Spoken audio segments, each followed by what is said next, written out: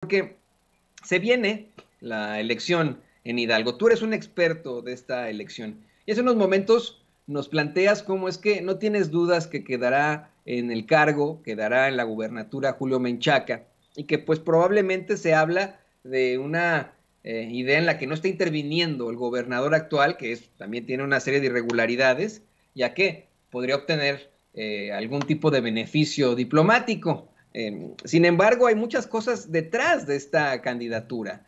Eh, en, días pasados vimos a, un personaje como el exgobernador priista, nada más y nada menos que de, de Coahuila, Humberto Moreira, asegurando que pues va a perder, su cuñada, su cuñez, eh, eh, Carolina Villano, eh, la, la, gubernatura, y ahora sale con otro tipo de declaraciones.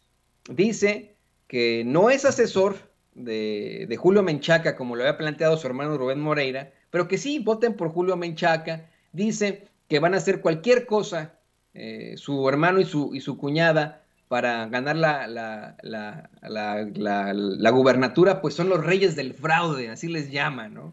Eh, yo lo que te quiero preguntar a ti es tu opinión sobre la, cercanía que pudiera tener o no Humberto Moreira con, Julio Menchaca. Eh, ¿Es esto perjudicial? ¿Hay, ¿Tú crees que en verdad hay algún tipo de cercanía entre Humberto Moreira y Julio Menchaca, a pesar de que el día que no es asesor, pero que está en estos momentos haciendo un llamado al voto allá en Hidalgo para, para Menchaca? Es muy interesante tu pregunta porque tiene muchos tintes políticos y elementos de análisis profundo, querido Toño. Eh, evidentemente, el exgobernador Moreira eh, se ha divorciado de su familia, pero ¿qué tan cierto puede ser esto? En realidad, el anuncio de que Julio Menchaca va a ganar es un anuncio que viene pues de todas las encuestas, de los análisis paramétricos, eh, de la participación popular de la gente en todos sus eventos, del desbordamiento lleno de entusiasmo que tiene este proceso electoral, en donde eh, pues han sido 93 años de latrocinio y finalmente terminas con una figura desgarbada, una figura acéfala, eh, con falta de carácter, con falta de valor y determinación, que pues termina por inundar al PRI ni siquiera le ha dado el gobernador eh, Fayad una ventaja competitiva a Carolina Vigiano, sino todo lo contrario. Es parte del funeral político del PRI eh, tras 93 años. Es probable que tengan una amistad porque mm, eh, hay que recordar que el candidato de Morena viene del PRI también, o sea, y, también pudo haber tenido un trato con cualquier priista, incluyendo el gobernador Fayad o, con cualquier otro personaje de la política y de la vida pública. Yo creo que lo más importante que dice Moreira sobre eh, el candidato de Morena es su honestidad. O sea, la ubicación en la que la mayoría de los políticos, y no todos los políticos, y sus compañeros políticos de Morena, del PT de Nueva Alianza, reflexionan sobre Julio Menchaca, es, su honestidad. La honorabilidad es un factor muy importante y no tiene mácula, no tiene mancha. Ha sido un trabajo muy importante. En la entrevista que yo le hice siendo senador con licencia, eh, la pregunta pues fue si había sido tentado por algún poder fáctico y él mencionó que sí, pero que él decidió siendo eh, teniendo un cargo en el Poder Judicial en el estado de Hidalgo, de mantenerse por la línea de la honestidad, por encima del interés eh, monetario que intentaba corromperlo. ¿sí? Em, fue presidente del Tribunal Superior de Justicia del Estado de Hidalgo y allí pues él habla de, algo que es importante, que es la honestidad. Su familia es una familia de personas vinculadas al, negocio, al comercio, y es el de la tintorería. Entonces, lo que más recuerda a Julio Menchaca es eh, obviamente la condición de respeto que su familia le educó, le enseñó y el valor que tiene el nombre y el apellido. El referirse siempre a los clientes como señor, señora, hablarles de usted y entregarles siempre una prenda limpia. Yo creo que las prendas que va a recibir eh, en el gobierno están teñidas de violencia, de sangre, de corrupción, de presidentes municipales guachicoleros, de un poder judicial de cabeza, eh, de una economía fracturada, de una pobreza eh, eh, que no se frena con el puro interés y el deseo, y, de una desigualdad y de rezagos históricos de décadas, considerando que es uno de los estados más pobres del país. Que él pueda devolver a la sociedad, al país, un estado diferente, es, es una misión prácticamente de lavandería, de tintorería, de ingeniería, de buen trato, de buenas formas, de, buenos anhelos, pero además de una buena relación con el Poder Ejecutivo Federal. Creo que Moreira reflexiona sobre la labor que significa ser gobernador y él ve que Hidalgo va a mejorar y, y no le queda más que aceptarlo. Y si pone en esto, refrenda el valor de la amistad, por encima de las condiciones familiares, pues qué bueno.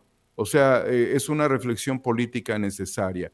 Y obviamente sería bueno que le recomiende que no endeude a Hidalgo como ellos endeudaron a Coahuila. Eso sería fundamental. Pero algo dijo que no hay que soslayar, querido Toño, las cochinadas que siempre ha hecho el PRI, y estas cochinadas tienen una característica muy importante. Ya no se trata de ganar, porque el PRI sabe que no va a ganar, ni con todo el dinero va a ganar. Lo único que se trata es de no verse ridiculizados en la derrota, porque yo lo que vaticino es una derrota aplastante. Híjole, eh, pues eh, fuertes palabras, Daniel Marmolejo. Eh, yo también, yo espero que así sea y espero que no, no solamente por una, diversidad en cuanto a un partido, sino de diversidad de partidos, y de una vez por todas, mi querido Daniel Marmolejo, echar al PRI de la vida política. Eh, ¿Qué te parece que nos compartes tus redes sociales como siempre, querido Daniel, eh, para, para, que la gente se ponga en contacto contigo, para que te vea en tu canal y para que siga con, pues vamos viendo estos, estas importantes investigaciones que tú realizas y por supuesto los análisis a profundidad, eh, que es lo que necesita el pueblo. lo que necesita el pueblo es eso, insisto, no, no, no es que eh, yo tenga que, tenga que hablar muy bien aquí de Daniel Marmolejo, pero necesitamos periodistas que levanten las piedras y exhiban a las ratas como lo ha hecho Marmolejo, aunque no le hagan caso las autoridades. Nosotros como pueblo de México sí. Eh, Daniel, ¿por qué nos compartes tus redes sociales? Por supuesto, querido Toño, eh, mis redes sociales es Homo Exnovo en, en YouTube y, perdón, en, Twitter, Homo Exnovo y en eh, YouTube 4A República con programas interesantes, vibrantes.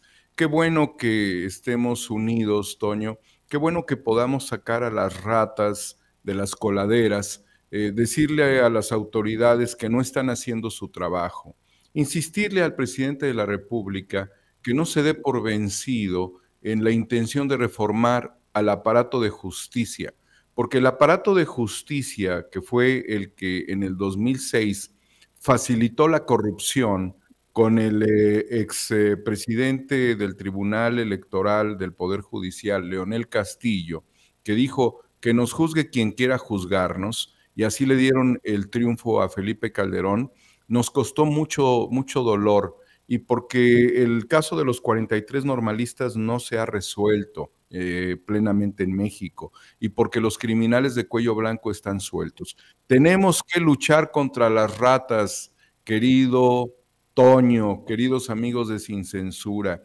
cueste lo que cueste, porque si no lo hacemos, estas ratas se van a volver alacranes y van a tener alas y nos van a eh, envenenar con su terrible ponzoña, como ya lo han hecho. Aquí estamos siempre a la orden, solidarizándome con la querida Lina, con Meme, solidarizándome con Vicente, contigo, con Rafa, eh, con Celsin Juárez, solidarizándome con todos, porque es parte de una orquestación para tratar de amedrentarnos, de hacernos sucumbir en el proyecto de transformación y de esto que fue fundamental también expresado en la plaza pública en el año 2006 la revolución de las conciencias. Aquí estaremos, querido Toño, como luchadores que somos. Así es, aquí estaremos y estaremos unidos. Eh, muchas gracias, querido amigo Daniel Marmolejo. Sigue luchando, que nosotros seguiremos luchando. Y mire, todavía no nos vamos, vamos a una pausa muy, muy corta y regresamos para despedirnos, pero no se vaya a ninguna parte. Quédese aquí con estos, eh, pues, señores.